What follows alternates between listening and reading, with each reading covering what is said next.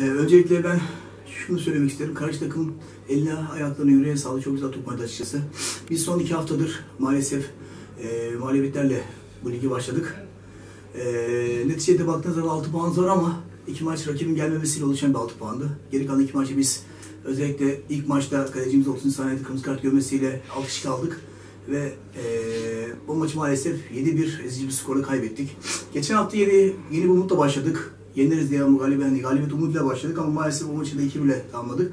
Artık bu son maçta dedik ki biz maçı alacağız. Maç çaresi yok. Hani ligde bir takım yerlere çıkmak istiyorsak hedeflerimiz var ise biz bu hedefler doğrultusunda maçı almak zorundaydık. Sağ olsun her zaman söylüyorum bir kale bir maçta eğer bir takımda bir atan bir olursa maçı kazanmak çok kolay oluyor maalesef. Ee, sağ olsun kalecimiz bugün çok güzeldi. Golcülerimiz gayet güzel iş yaptı. Maçı 7-4 kazandık. Hepsine ayağına sağlık takımıma ve oyunculara çok çok teşekkür ediyorum. Tebrik ederiz kaptan. Çok Evet. Abdullah sen ne söylemek istersin? Ben öncelikle üzgünlüğümü dile getirmek istiyorum. Çünkü ilk haftada 30. saniyede kendi yanlışımdan dolayı takımımı yalnız bıraktım bir hafta.